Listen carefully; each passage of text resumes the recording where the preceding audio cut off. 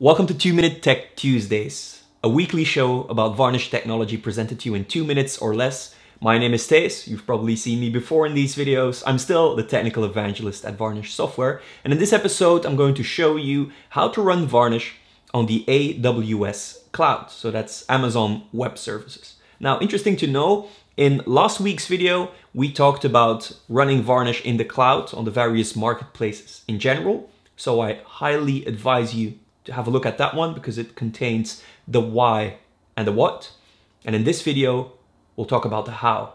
So I'm gonna put two minutes on the timer and explain to you in two minutes or less how you can run Varnish on AWS. The installation procedure starts in our AWS console. You click to launch a new instance, but instead of looking for a regular one, we're going to the marketplace and we're typing Varnish Enterprise. We select Varnish Enterprise 6 for Ubuntu, and we get an overview of the associated costs for licenses and infrastructure depending on the machine size. We're going for a large image and choosing a standard configuration, but we do want to add a tag with the name to easily identify it in the list. We're picking Varnish here, we're continuing to the firewall setup where we get the standard ports we need already set up by the image, and then it's a matter of launching the image. But before we do, we will create a new SSH key, which we call Varnish, and which we'll use to authenticate ourselves when logging in via SSH. We launch the instance, and minutes later, you have a full-blown Varnish Enterprise server.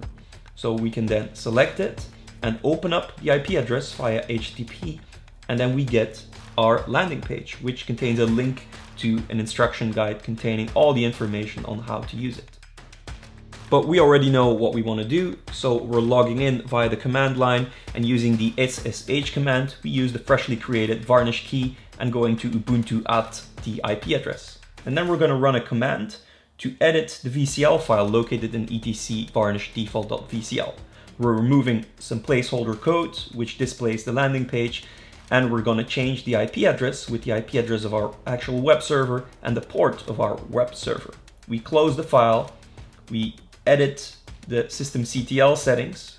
So this is systemd with the runtime parameters. And instead of choosing for 256 megabytes of caching, we're going for two gigabytes. And then it's just a matter after you've changed the parameters of restarting the varnish service and you're good to go.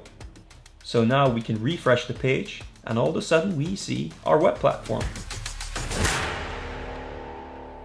That was easy, am I right? It was just a matter of finding the right image in the marketplace, spinning up the machine, and you have a full-blown Varnish Enterprise server that is pre-installed and pre-configured. Very easy, very powerful. And in next week's episode, I'll do exactly the same thing, but on the Azure Cloud by Microsoft, and other platforms will follow in future episodes. So thank you for watching. I hope you enjoyed it.